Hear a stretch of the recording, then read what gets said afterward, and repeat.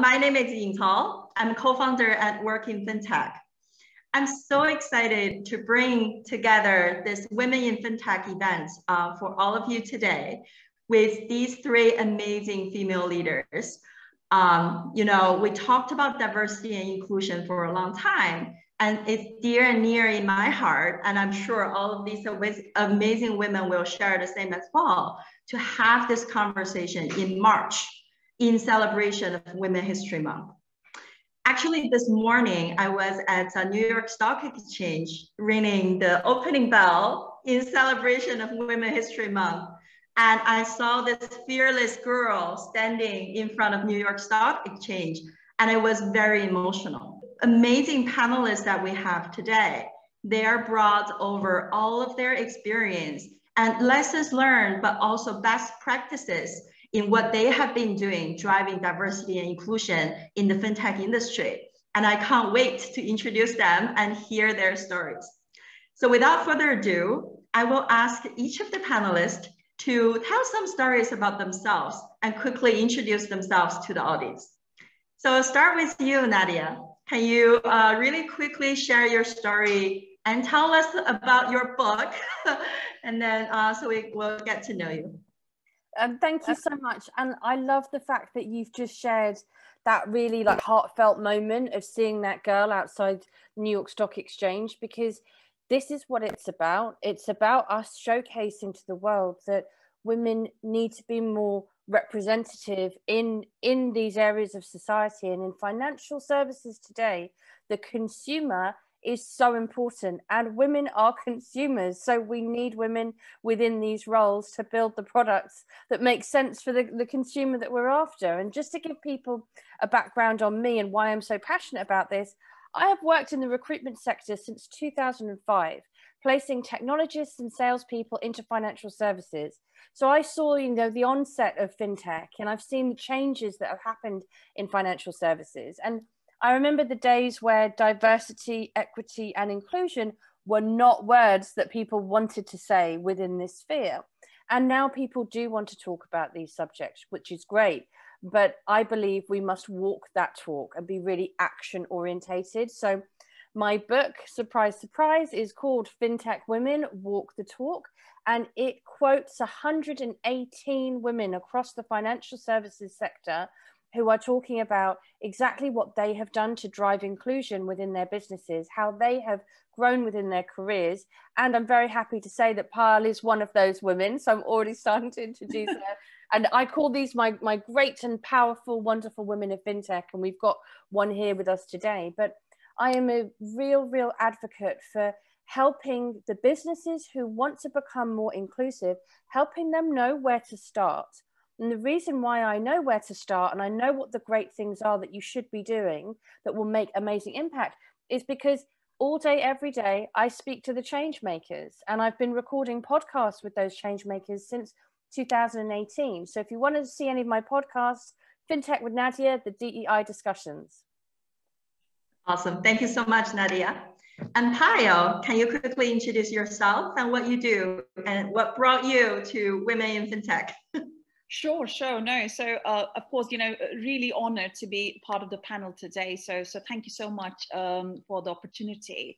Um, so myself, Payal Raina, and uh, I actually wear a couple of hats. So I'm the founder of the FinTech B2B marketing community, which I'm going to talk to you about in a minute. And I'm also a global head of marketing for uh, a leading FinTech uh, organization so, so having those two hats on is really interesting because it kind of gives you perspective about what does it mean when you are actually in the industry working plus and on the other side of the fence when you are helping and supporting your fellow community members. So my background i've been in b2b marketing uh, for over two decades um, work for a number of global brands like Microsoft, GE Capital back in back in Canada, uh, currently here in UK, working for Barclays Bank, and so yeah, so I've always been within the financial and technology space in marketing. However, I think pandemic, and I just want to kind of remind us about COVID-19. I know some of us like, no, we don't want to hear about that word again. Um, that kind of for me changed the the whole landscape not just from a marketing standpoint but from an industry standpoint.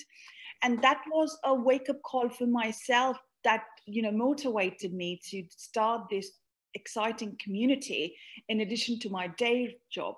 And and of course all the listeners who are listening to us today you know hopefully all our experiences could inspire each one of you or maybe have like a you know even a 1% of an impact so you can actually get motivated and, and, and make those changes in your life so uh, back in march 2020 when you know i was along with all of us were forced to look at the world through the zoom lenses one of the key questions was how are we now digitally going to network? How are we going to share insights? How are we going to drive customer acquisition? How are we going to help each other out?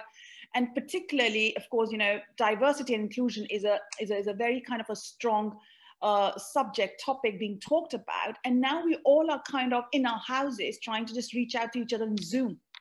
So, um, and, and also particularly, I noticed there's a lot of silos within the financial services and fintech industry um, so there were tons of communities out there looking at technology, banking, financial services, but they were not converging together. And that's super important from a fintech standpoint, as all my fellow participants would agree that as a fintech organizations, we sell our services or products or solutions to financial services.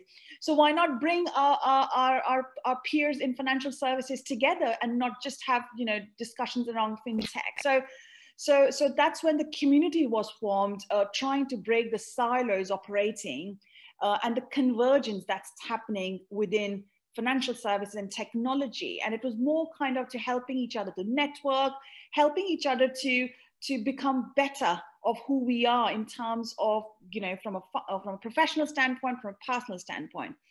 Uh, and, and super delighted that, you know, over a period of less than a year, we actually grew strong, like 2000 plus members.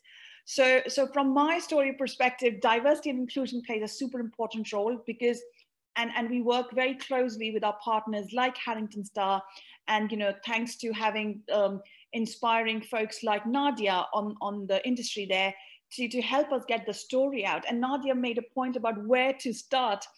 And, and we ran a campaign for our community because as a marketers, we are the brand or the face of the organization. So whilst Nadia comes from an HR recruitment standpoint, marketers, we are the one who is, you know, bringing and those products and services out in the market. So that means we have got a huge role to play to move the diversity needle. And, and that's where the community you know the whole community got started. We looked into diversity and inclusion. We set up some webinar series where we were educating our fellow marketers about how can they make a difference. And a good example is for example at torstone technology uh, you know, uh, given where i am in the organization i can actually make that influence and make the change so helping our senior managements or ceos to you know to help them recognize that we should be helping the, the fintech 17%. I know Nadia, now it's 19%. You're so, so helping marketing, like, you know, making those decisions to the senior management level, helping them to recognize it and start acting towards it. So we started partnering with like Code First Girls. Anyways, I can, I can talk for hours, but um, you know, absolutely delighted. Uh, but yeah, it's, it's good to be kind of having those dual roles um, and, and working with fantastic community globally. Awesome, thank you so much. And both of you are joining us from UK. And now we're going to switch the gear a little bit to the US. And as you all know, one of the mission for Work in FinTech is really to educate, inspire young people to dive into these enormous opportunities in FinTech in general. And I'm so delighted to uh, introduce our next panelist, Weilyn from Princeton, US. Weilyn, can you tell us a little bit about yourself and you know what is your connection with uh, fintech? Yeah, for sure. First off, I want to say thank you so much for having me on the panel. Um, I know Gayatri wished that she could be here, but excited to be here on her behalf. And can I just say, both all of you are such inspiring women in fintech, and as someone of the Gen Z generation, super excited to just have the opportunity to hear more about your stories but I'll give myself a quick little introduction. Um, I am currently a sophomore at Princeton studying economics with certificates in computer science and statistics. Um, I'm originally from Singapore, but grew up in Hong Kong, uh, Singapore, and the Netherlands, so definitely have that um, third culture kid background. And I've embarked on many entrepreneurial journeys, but most notably started a startup focused on promoting gratitude around Southeast Asia when I was in eighth grade. And then most recently, a media network of five podcast shows, all for and by women entrepreneurs called uh, the Entrepreneurs Network. So I love, Nadia, how you have a podcast too. So we can definitely talk a little bit about the podcasting space. Um, this year, I was elected to be a member of the board member of the board for Nasdaq's Entrepreneurial Center, and I'm currently working on the Venture Equity Project podcast for them. Um, and I've had the amazing opportunity to dip my toes in fintech and the VC world over the last couple of years, working very closely with Gayatri on Advita Capital and the work she does at SheVC.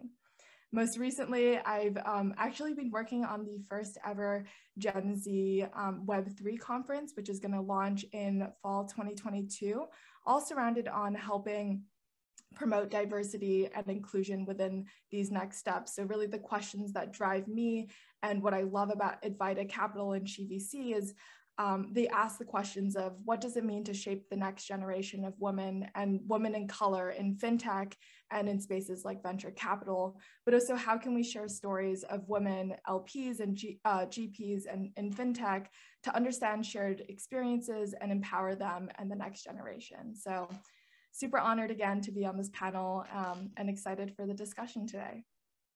Awesome. Thank you so much and welcome all three of you. And we're going to dive into the conversation a little bit by um, talking about um, the elephant in the room. And the reason I call it the elephant in the room is uh, I find it's quite interesting, even during my days on the trading floor on Wall Street. Because every single time when people talk about diversity and inclusion, it felt like, oh, it's the nice thing to do. It's the noble thing to do uh, I myself felt that way too, right? It's political correct, or you just want it to be more inclusive. But the more I dive in and the higher position that I got, right, during my work journey and now being an entrepreneur, the more I felt like it's not just a nice thing to do. So I actually wanted to invite each one of you to share your view of why, but specifically in fintech. And also uh, each one of you had deep expertise in recruiting HR, community marketing, and investing, and also Gen Z. So can you also share a little bit of um, best practices, success, or even like uh, lessons learned, right? As you're ha keep having the conversation around this topic in your specific domain. So can we start with Nadia? Yeah, I would absolutely love to. And great question. Um, I think it's really important when we're having this these conversations that we're really clear about where we stand on this because you're absolutely right. One of the biggest challenges I face um, as a recruiter working with different businesses and helping them grow is where do they put the diversity, equity, and inclusion conundrum on their radar? You know is it is it within their dna and this is something that they believe will be the core of their success as a business? Or does it just land at point 27 at a quarterly town hall meeting which they barely get to and everyone's half asleep by the time they get there and there were three minutes to cover it but they feel like they've done their job on dei and they've ticked that box? And i think for me it's really really clear and we have to raise awareness and open people's eyes to how they're behaving, and how much stronger they will be if they behave in the way where this is right at the heart and center. And for me, it's not just a social justice issue, which of course is very, very important. But let's just take that out of the minds of the CEOs of the world right now. Because social justice, let's be honest, isn't number one in, in a lot of CEOs' minds. However, if we think about revenue, if we think about profitability, if we think about stress testing a product, if we think about challenging the industry, coming up with new innovative ideas, how are we ever going to do any of that if the same people are talking to the same people? And those same people all come from the same backgrounds. They all they all laugh at each other's joke jokes. They went to the same school. They grew up eating the same food.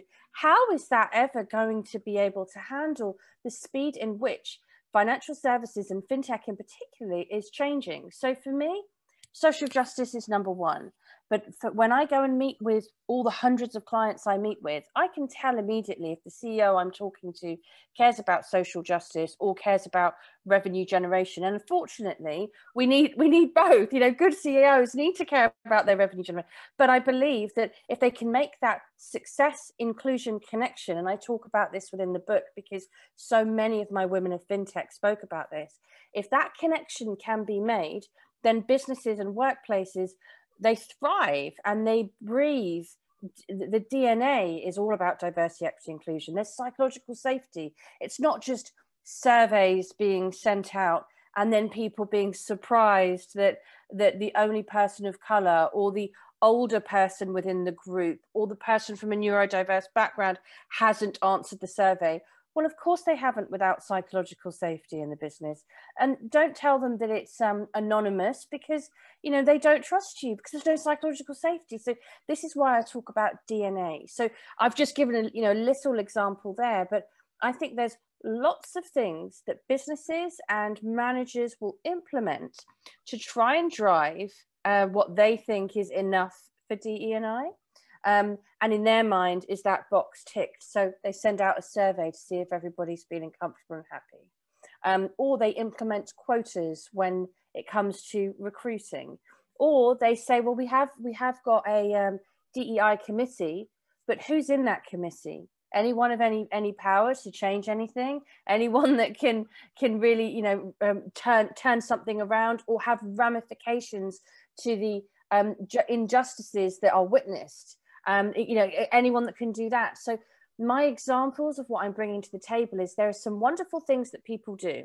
Committees are great, quotas are great, having networking events are great. Um, surveys are great, but on their own, they're not, and they get totally undermined if it doesn't come from a, a connection. And that connection to me is success inclusion. Definitely. I think, you know, um, even from a psychology perspective, right, one of the most important thing in modern psychology and science is um, what people really care about is significance and belonging. And I think that's actually uh, over the last uh, decades, right, of modernization, digitalization, and even during the COVID, right, as uh, Payal mentioned earlier, you started to see human beings are dying, right, for connections with each other. And to the point that you mentioned about um, diversity, right, and inclusion, it becomes a very important ingredient for any organizations who even wanted to just focus on the revenues, right? You actually cannot ignore um, the cost you're going to pay without a diverse and also inclusive uh, workplace. Payal, uh, from your experience, right, in the marketing uh, and also branding space, um, what do you think why uh, we need um, to talk about DEI in the workplace?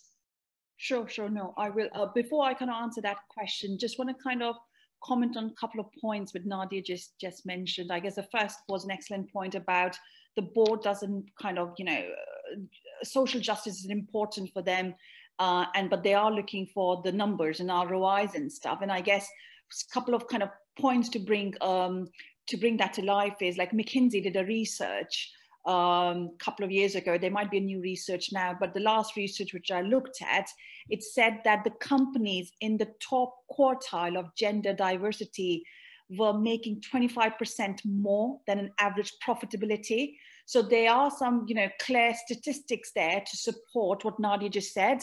And it's not just a talk, but it is a clearly demonstrates what's already happening outside in, in, in the industry. Secondly, uh, you know, I, I, guess Nasdaq did a fantastic. If you if you all remember Nasdaq last year, their their proposal uh, was approved by the, the Securities Exchange Commission last year, where they wanted to bring greater diversity to the board. So when that news broke out, I think that was a huge news, a big news, because a company like NASDAQ, you know, one of those giants, when they are trying to you know, make that change, that sends a very, very strong signal and message to the market to say, wow, NASDAQ is doing that.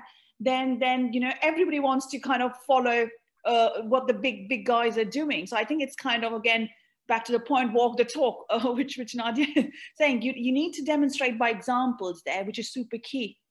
And, uh, and, and businesses like NASDAQ, and I appreciate uh, uh, Weilyn, you, you, you mentioned you are probably in the boat. So I think that's where we all can make an impact uh, in our whatever level or position where we are in to, to make sure we are sharing these stories internally in our business. And again, marketing plays a key role. Because if you think on marketing, it's not just the external marketing, but it's also internal marketing, which is helping to change the mindset because marketers we sit in the middle of the organization. So we are customer advocates, uh, but at the same time, we want to make sure we're helping the business grow.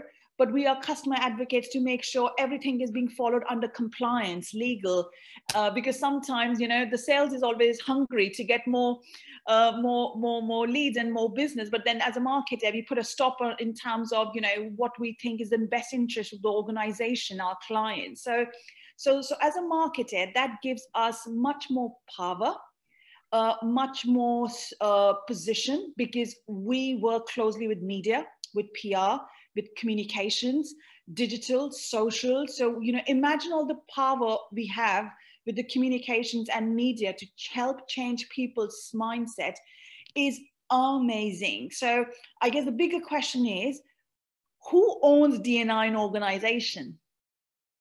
right so uh, uh, uh, you know again going back to our community like fintech b2b marketing we, we we kicked off these dni webinar last year and in our first webinar we we invited uh, uh, uh Lucinda Wakefield, and she was a you know heading diversity for BNY Mellon organization. So, so if you have got big organizations, you know you probably have got much more focused experts who are looking into this. But then if it's a small size organization, a medium-sized organization, who owns the DNI? Is it HR's job? Is it a marketing job, or is it um, you know someone else's job, or is it a um, uh, recruitment partners? Like you know, where does that sit? So I think that's a super important question. And usually everybody says, "Oh, I don't know if you know a small organization." But that's probably where, coming back to my point, marketers, we sit in the middle, we connect the dots, whether it's ops, technology, um, whether it's sales, it's business development, it's customer success team. We actually bring everything together, we package it in a messaging, and then we position it externally. So I think as a marketer, we probably have got a greater role. And again, giving a, a, a, an example in terms of at Torstone, where um, I'm very much passionate about diversity, and I actually brought it back up on the agenda. I had a conversation with HR, had a conversation with CEO, we had a whole proposal put together because it's a huge value in, in helping each other out. And, and also personally myself, like I'm, I, I was born in India. So uh, I've, I've, I've, traveled across the globe. I worked in Canada. I've lived in Canada. I've, I've, worked in UK, lived in UK. So I'm, I'm, I'm not born and bred in these countries. But however, you need to go through all those, you know, hoops to, to come to where we all are in our respective positions, right? So um, but but I, I would say is it's it's leading by example for me. Number one, that's a top tip for anyone who's aspiring folks listening.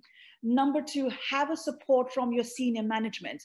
Luckily, my journey was touched very smooth throughout, even though I was in different countries and you know I wasn't born in those countries because I always found some strong allies and champions in my company who were always helping me to you know, they were helping me out to where I am. So um, I was touch with lucky that I never got um, discriminated or, you know, wasn't being kind of given opportunity to do what I wanted to do. But again, it's make sure you have got that that kind of an ally in the organization mm. or, or support from senior management or from your managers somewhere um, and of course it's not the case everywhere or outside the organization like communities like you know like all what we're talking here today to make sure you know you have got that intelligence uh, number three i would say is another way of marketing and of course partnering very closely with hr is that building the dni into your kpis of your organizations right? We all have a performance appraisal. I know some organizations um, don't do it as frequent as some others does.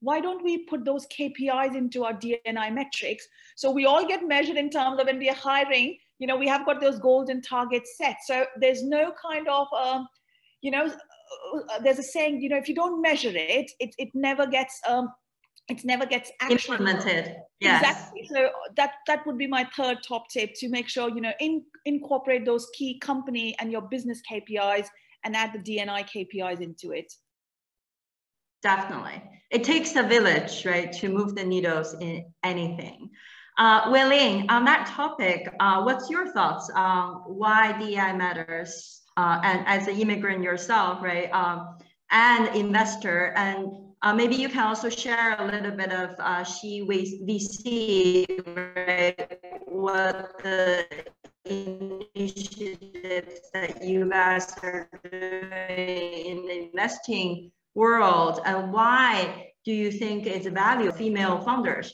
even in starting their own companies or even getting the, uh, the funding that need, they needed uh, to scale. Yeah, for sure. So, kind of echoing what everyone else has said, there's such clear statistics, especially in the investment world, that say that investing in women of color, investing in entrepreneurs of color gives back high returns. And there's clear statistics to back that up. And so, um, the question here is then why why are they why do we still see a gap in um, the amount of funding or the amount of access to capital that is being um, funneled to these entrepreneurs of colors? Um, and i think a big part of that is that a lot of companies have committed to saying that they um, saying that they prioritize DEI, but they're not actually implementing it in um, actions and kind of what Nadia said, they're not implementing it in their DNA of the company. So I think at the core of it, a lot of um, a lot of fund managers need to have a change of mindset when they approach this space and also realize that lip service is not going to be enough to actually move the needle forward.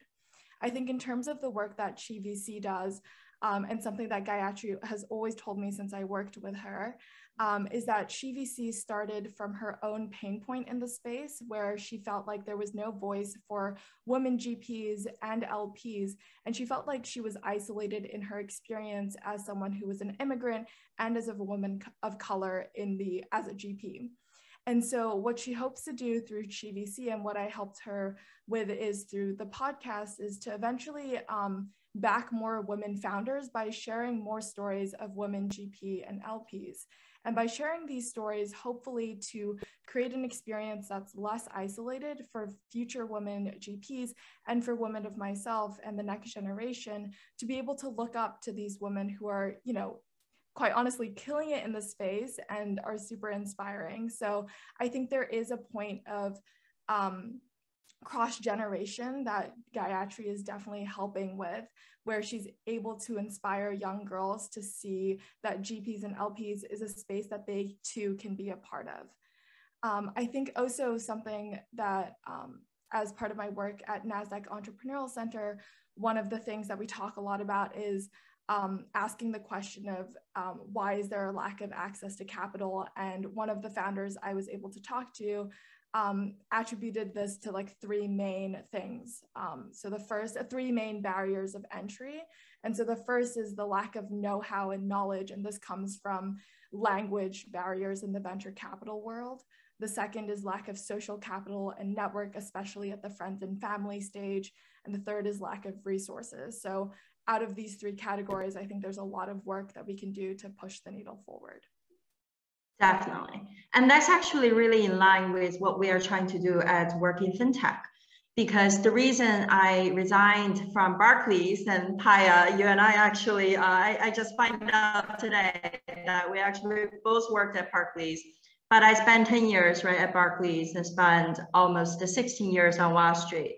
Uh, and then earlier last year, at the start of the pandemic, decided to resign and co-found a Work in FinTech with my partner, Mike Chung. One of the uh, knowledge gap, right, in the space that uh, there's a lot of opportunities, but not everybody is aware of the opportunities. But one thing we find so inspiring is we probably spoke to roughly 200 to 300 uh, CEO at the leading fintech firms, plus all the technology and financial services. Every single company is expanding, is hiring people, and they started to really pay attention to DEI. You notice that the shift or the trend from just a lip service, from just a ROI, from just the check the box exercise to people started to realize the cost they have to pay when they're not really attending to DEI and started to get serious and implement a lot of the initiatives to driving diversity, to actually uh, open them up, right, to different talent pool and hire people. And I think one of the interesting uh, other side of the story, right? So in addition to talking to corporations, we also spend a lot of time talking to students, young people, and also people like me and uh, Payal, right, who worked in traditional finance or in technology, but started to get really interested in the fintech space. And one of the interesting topic I wanted to get each one of your view on is um, the notion of imposter syndrome. And you hear that a lot, right? It's saying uh, people started to see corporations opening up, really diving into diversity. There's a lot of programs right? Or like a funding even for, right? For people who wanted to apply for a job or people who wanted to start their own company and started to fundraise. One of the, this like word, right, kind of flowing around is ah, imposter syndrome. I probably need to do more before I can really get ready and jump right in. So from your experience working with diverse candidates, um, whether it's uh, job seekers, executives, or founders, What's your view uh, in imposter syndrome and what are some of your advice for people of color uh, for them to really embrace these huge opportunities um, and have their voice in the space? Shall we start with Payal? Oh, yeah. Or? Um, it's, it's a very much uh, um, discussed topic here and um, it's it's hard to kind of give one piece of advice because we all are unique and different so it's not like one size fits all um, however yes it it exists and probably more from a gender standpoint uh, you know female and and and there was a, a research uh, done I, I think a year ago which said if a female is applying for a job role she will make sure she kind of you know matches 90 to 100% of the criteria, whilst the male counterparts, even if they match 50% of the criteria or 60, you know, they would be applying for the job. So it's one of those things, uh, you know, from a gender standpoint that um, as women, you know, we probably want to, and I'm not trying to generalize it. As I said, everybody's different. So, so, so it's that that's more kind of from a research statistics, we, demonstrated that in, in terms of then, um, looking at what advice can we give? How can we help lift folks from colors and race and stuff? I would say is um, first and foremost is you know believe and have confidence in yourself. That is very important to be persistent and to have confidence because you might have one or two experiences where you're feeling anxious and you're like oh i probably won't be able to you know qualified for that interview. I don't think so. I have a chance. Because of whatever kind of you know anxiety level you might have although you kind of feel confident that time but it is being persistent being making sure that you have got that confidence which is is is very key. Now the question is it's easier said than done because you know we can give all these advices but then when the reality kicks in then it's different. And that's why i guess back to my earlier point i made in the previous question um, you you asked was around allies making sure you've got the support that's so important. Having the support of your network having um you know uh, having like you know part of be part of uh, communities network support allies that's super super important because you know alone sometimes you might have all those negative thoughts and ideas which will kind of demotivate you but together we are very strong and powerful to help each other like you know um, rise uh, in terms of whatever that uh, situation or problem is. It's just, uh, you know, interview being one example there, but I would say be persistent, be confident, make sure you have got strong allies, be part of the communities or networks wherever whatever you are in that fintech chain you know you might be in ops you might be in tech you might be in anywhere because there are tons of people out there to support you and, and guide you and, and have mentors i think that is another way to to uplift um, your your you know your that confidence level um, again having mentors is is a fantastic way and and, and you know just kind of going back uh, when this community was started this is a very much a peer-to-peer a non-profit organization community. And i was thinking what are the challenges i face? And i was like i wish i had a mentor. I wish you know sometimes you want a mentor but you don't know where to go where to start from. So it's like having wherever your your communities or networks are make sure you bond with them very strongly uh, i'm sure nadia probably might have something more to to add to that Um, totally, because I am so passionate about this. Like, I think everything that Payal said there is is absolutely spot on, and there's some really good bits of advice that people can take away. In my mind, whenever we talk about imposter syndrome, actually, I go back to why do we have imposter syndrome? Because I am a person that definitely has it. Um, I, it's a challenge for me day in day out. And just to be really clear, um, you know, I'm now chief customer officer of Harrington Starr. We founded a business back in 2010. I started in recruitment in, in 2005. Um, I'm I am the most senior woman within the within the room. I'm uh, one of three most senior people within that business, and every morning, you know, rest assured, every morning I think, oh, can can I do can I do this? But I am reframing it and saying, well, good. I should be asking myself, can I do this? Because it means that I am progressing and I'm and I'm not resting on my laurels and I'm pushing myself further forward. But one thing that I think we all need to think about, and this may be controversial when it comes to imposter syndrome, is we know that women have imposter syndrome, and now we are talking a lot and raising our awareness of people from various cultural um, or diverse backgrounds having imposter syndrome.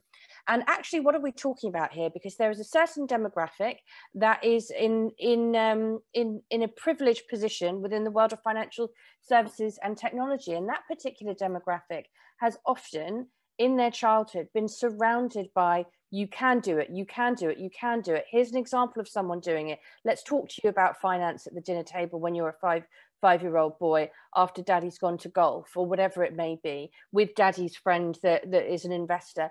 That, that actually you know these young boys have had mentors from that age and and the conversation around them from that age. And the reason why i'm so passionate about this is because i've got um, a boy and a girl and um, I mean, look, they're, they're, both under two, but already I am starting to see the way that the world treats the girl. So she loves to wear crazy outfits, and I let her wear whatever she wants. You know, something sometimes with a hat run backwards and sunglasses when it's raining, but she can often look like a boy. And we go into a shop, and oh, hello, big brave boy. And you know, we we are all conditioned to it big brave boy and i say no she's a girl oh aren't beautiful aren't you pretty little girl? Their their voice has changed. Rather than the than her being big she's now little and small and delicate and fragile and weak. And i think we often overlook this that as women um, and from from my cultural background i did not i was not brought up in a in a room where it's yes you can yes you can yes you can. It was free. If you want to you can. But it wasn't this constant you know push me forward. So i think we all kind of sit here and go oh i have imposter syndrome. That's you know that's a bad thing. But but perhaps we weren't brought up to believe you can you can you must you must you must. And actually i think that it's really important just to look back at your, your background look back at where you came from. And it's not a weakness. It's just a difference in what is seen as the norm in this industry right now. And we will soon be the norm in this industry right now. So let's let's unpack it let's reframe it and let's see it as a positive. Definitely. I like the point that you make uh, nadia about changing the language right? Because that's actually really just to reconditioning uh, the environment. And the more people talking about yes you can. Hey this is the new ceo rather than female ceo you started to really believe right in that direction uh, anything you wanted to share on this topic? Yeah, for sure. I just want to say that um, even just hearing other women who are successful in their own respective industries share about their experience with imposter syndrome, is to me very like it resonates a lot with me i think because oftentimes i um, oftentimes i feel like when you deal with imposter syndrome it's something that you deal with like by yourself like right when you wake up you're like can i do this today? And it's not something that a lot of people talk to so i think it's really awesome that we're here today talking and sharing our experiences.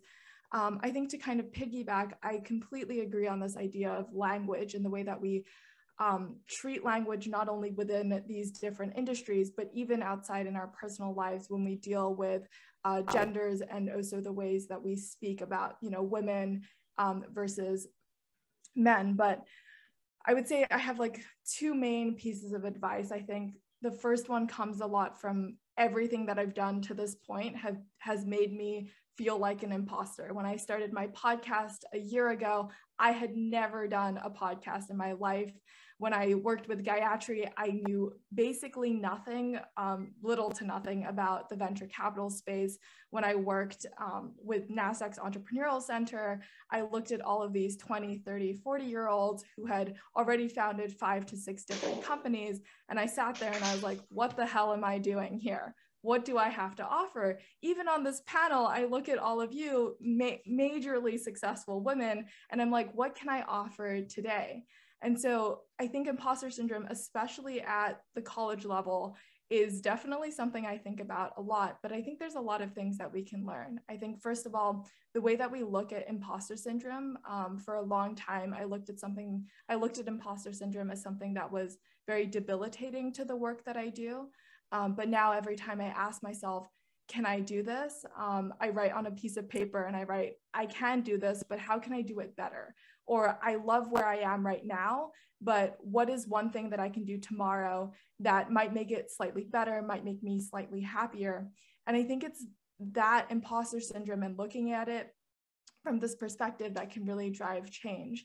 Um, the second thing that one of my friends told me um, after one of our exams was um, I was telling her how, how I didn't feel super great after the exam. I didn't feel like I had the confidence to take the exam. And she said that there's nothing stopping you from having the confidence of a white, like Adam out there, or like a white Luke out there. And I was like, who clearly, so she said, there's nothing that's stopping you from having the confidence of like a white Adam who knows way less than you do. And I was like, that's such a funny way to think about it. Like, there's nothing stopping me from having that confidence. So I think a part of that is just fake it till you make it. Awesome. I really love it. And, and I was just going to add, so what you said was absolutely fantastic. Uh, and I will just add is sometimes like small things like positive affirmations. I know Oprah does lots of kind of, you know, talks around that and motivation speakers, but that really works. Like, you know, uh, small those things like, you know, really works kind of, you know, getting up in the morning, just, you know, closing your eyes and believing. It, it makes a difference because it changes the way you look at the world. And, and, and that reminds me, um, uh, Weilyn, when I was uh, probably in my, uh, not probably telling my age here, but when I was uh, in late 20s, early 30s, and I, I, I was on the board for uh, in the UK, and there were all the white men with white hair, and I was the only female there. And uh, so when I joined the board, you know, I always walked in to say, you know, I know I'm a subject matter expert in marketing, nobody else is. So you actually walk into that room saying that to yourself because that's reality. Like nobody else, everybody has something to offer. It doesn't matter if they're founded four companies, five companies, or you know, they all have a story where they all started from somewhere. And and and and when I was on board, then I actually had a power to bring HR on the board. She was an HR head of HR lady, and I was like, you know what? Um, so it's kind of helping as a female, as a woman, to helping each other out. So literally, in a, in a couple of years' time, we had two females on the board for marketing and HR level um, and, and kind of having that platform and forum to, to, to raise uh, their, their, their opinion and voice. And just kind of the point, Nadia, you made about your daughter and, and the son, I think one point to, to, to make everyone aware, which of course we all know, is that boy and girls are you know from a human perspective like you know genetically we all are both are wired very differently i've got a son and a, and a daughter and regardless of you know how much i kind of you know of course i treat both of them same but there's some elements like i won't be able to change like my daughter is very fussy about the, the, the colors and all those things, whilst my son cares less. So I think there are some genetical differences which we cannot change because that's how some of us are being wired. But I guess then the question is how we make that as a strength.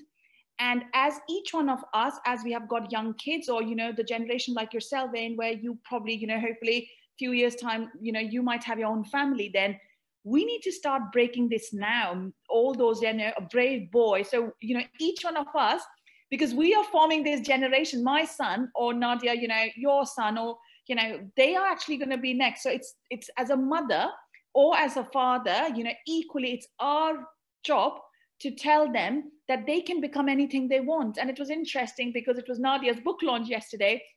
So I went back home, I showed the kids the book. So they were reading the chapter and they were reading my name, of course. And that kind of gave confidence, of course, to my son. But my daughter, you know, when somebody asked her, What do you want to become? She was like, I want to become like mummy and I want to be independent. Like, he probably doesn't know the meaning of the word, but I think we all can become role models, not just for our, you know, uh, the future, but also for our kids, because they can see if mummy can do it, so can I. And, you know, telling to their friends, and that's kind of, you know, percolating across the society. So, again, Nadia, back to your point about changing people's mindset. Definitely. And, you know, um, as an executive coach, I actually spent the last 10 years really looking at uh, the imposter syndrome. And one thing I find, which is quite uh, eye opening, is actually there's no such thing as imposter syndrome, but the stories that we keep telling ourselves. And I like what Nadia has shared earlier by bring this story up to your consciousness and reframe the story. Each one of us actually has the power to create a new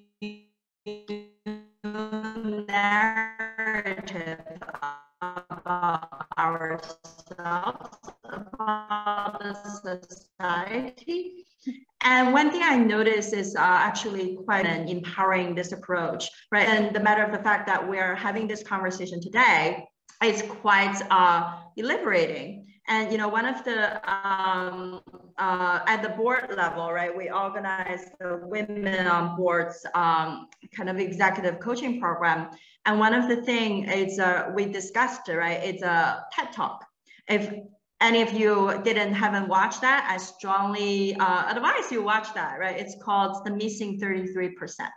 So basically, um, the speaker, right, uh, made a really stunning um, uh, fact, right, that uh, he know she noticed uh, one of the key reason there's less women CEOs or in the C-suites than men is because when they're looking at how these fem female being groomed right in their organization is they teach the men about the business and they teach the women about being confident and that's one of the reasons you don't have a lot of the successful female right raising to the top. So i think one of the um, the thing each one of you has mentioned is when you notice right you've been taught or mentored right really focusing on your confidence you can even let people know about your ambition, right, in terms of what you wanted to achieve in the business world. And sometimes just to talk about the unconscious bias is going to really help move the needle and move the conversation. So I think we actually have 10 minutes left for the panel. Uh, we actually uh, have a couple people um, wanted to, if you wanted to drop out your questions in the chat, feel free to do that. We actually also get some pre-submitted questions that we wanted to leverage the opportunity uh, to check in with uh, from Jenny. Uh, hosting this uh, great topic uh, during the month of March, which is the inter um, the Women History Month. Uh, she's currently applying for jobs uh, in the fintech industry. She uh, is wondering if you can share some best practices or tips for diverse candidates, how to stand out in the job interview process.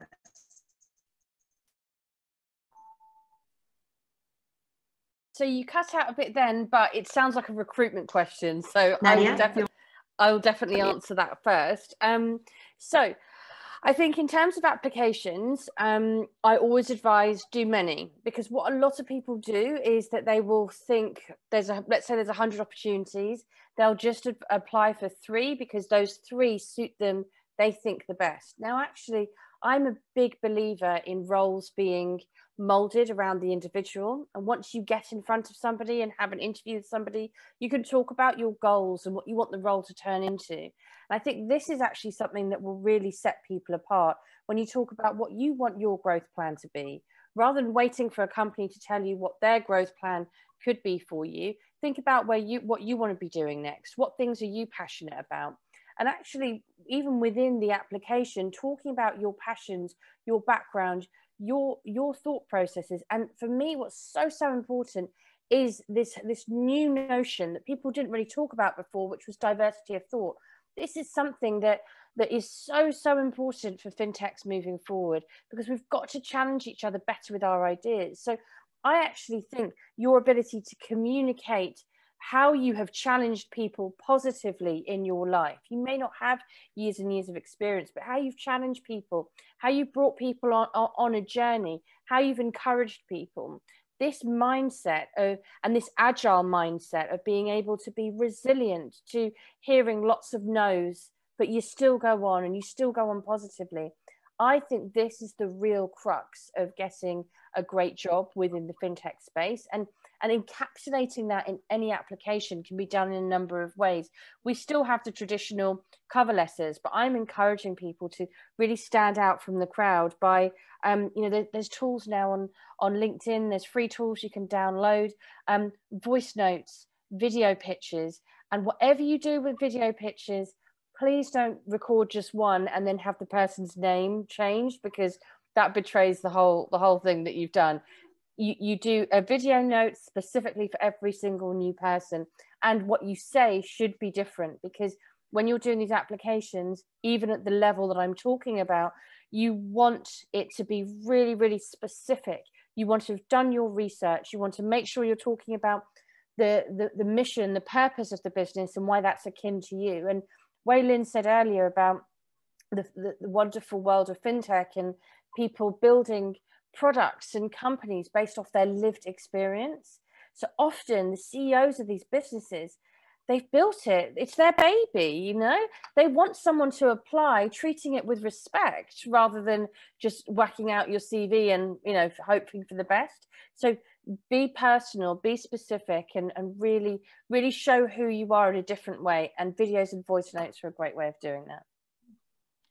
And, and I would just kind of add from a from an interview perspective is because um, I, I, was being asked this question so a few times. So from an interview perspective, I would say is if you get asked, especially you're not you know born and bred in that particular country, a couple of things to to highlight is that uh, your adaptability and flexibility that's super key what businesses are looking at because most of the businesses are virtual um, when I say virtual, I mean, uh, you know, the boundaries have become virtual after pandemic. It doesn't matter where you work from, but what really matters is can you connect with people in Hong Kong with the same kind of an empathy with somebody in Japan, whether whether in US and UK, and if you are someone who has actually you know uh, you know you don't look like those people you don't speak or talk your accent is different.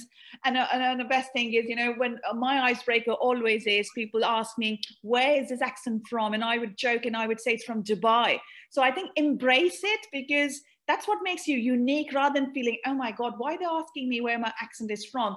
It is you know it is not because you've traveled so many countries um, so i think uh, you know embrace it have fun with it and and also uh, uh, again, there's some, uh, always pick your battles, I would also say, because, you know, uh, sometimes we might become sensitive and we think, oh, somebody's saying something because our background or because or whatever. But I think, yeah, so, so just open up your mindset, uh, showcase that what you're going to bring with your global uh, with your international background and experience and how you understand and how adaptable and flexible you are and that will definitely help to draw the bottom line again connecting those points from a bottom line standpoint is is super important as nadia said some of these ceos have built their business especially in fintechs there are lots of startups lots of unicorns in there. They've built up their, uh, you know, it's kind of like their baby. So you need to demonstrate how you can work super hard to, to help them, uh, especially from an, from an ROI standpoint. 100%. I'll add like a quick little tidbit as someone who's also trying to break into awesome. the fintech space. Um, I would say one, treat your internationalness or your background and diverse background as a strength rather than a weakness. Oftentimes I look at myself and I'm like, gosh, like it would be so much easier if I was just an American citizen. Oh boy, like wouldn't it be so much easier if I could just like if I had just lived in California my whole life and like grew up in Silicon Valley. Um, but the really shift and of perspective was looking at my background and looking at all of the places I grew up in as a strength and something that I could bring forward to companies that I potentially work in.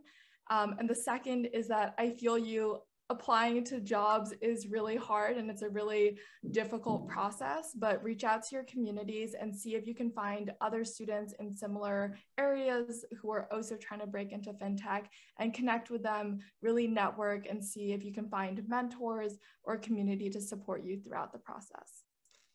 Awesome. Thank you so much. And Weilyn, I have one more question uh, from the audience to you. Uh, so they wanted to know um, if uh, from C SheVC perspective, you guys has any special program for uh, founder of color or women of color uh, to you know get uh, resources to fund their own company. And also a similar question is um, you're only a sophomore at, uh, at Princeton. So what's uh, what are some of your advice for young people out there uh, to so um, they can put themselves out there, jump into opportunities, uh, and then create opportunities for themselves? Yeah, for sure. So I'll answer the first one. Uh, SheVC is actually focused on highlighting stories of GPs and LPs. Um, so if you are a woman founder, I'd say definitely reach out to me and we'd love to have you and highlight your story on uh, my separate podcast called the Entrepreneurs Podcast, where we highlight uh, women entrepreneurs and share stories um, within our community. So definitely feel free to email me or connect with me on LinkedIn. And in terms of being a student, um, what was your question exactly? So being a student in, sorry, I completely blanked. So actually I have one more question. So two questions. One is uh, as a student, and also how can I create opportunities for myself to put myself out there? Awesome. So I think first of all, as a student, it's a really nice thing because at college or um, at high school, you have a really big safety net, like nothing that you actually do at this point in your life, um, besides like working a job and like paying for rent, for example. Um, all of your startup ideas, if they fail, the worst thing that could happen is that they fail and you're still a college student and you still have your education and that is still like the forefront of what you do. So every time I choose to start a new opportunity or think of a new startup, um, I always ask myself, what is the worst thing that can happen? And usually the worst thing that can happen is not even that bad. It's like it happens it doesn't work out or maybe my co-founder doesn't like me at the end of it. Um, and so usually at the college level like the safety net and the failure isn't that large or astronomical. So i always say just go for it if it's something that you're passionate about. And then as a student i think one of the ways that you can contribute to the spaces of DEI initiatives is really share your perspective as someone who's a prospective um, you know, a job applicant, as, as a student in your school, as someone who's looking almost with fresh eyes in different industries, and ask yourself, how are these industries currently solving the problems and addressing the issues of DEI, and how can you move that needle forward? I think are the two big questions I ask myself. Awesome.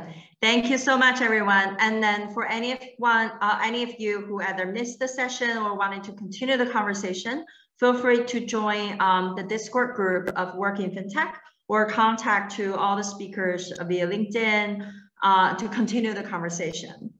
And also towards the end, I wanted to call out some great, great resources, right? So as Nadia mentioned, she has recently launched a book called uh, FinTech Women Walk the Talk. So get a copy, read those amazing um, feedbacks, lessons learned, success stories from the amazing FinTech women in her book. And I think Weilyn mentioned that she has um, a podcast series. Nadia has one as well. We'll drop off the link. And I work in FinTech. We also have a podcast series, which is awesome, right? So follow us on LinkedIn. And uh, anything you wanted to highlight as a resource for the audience?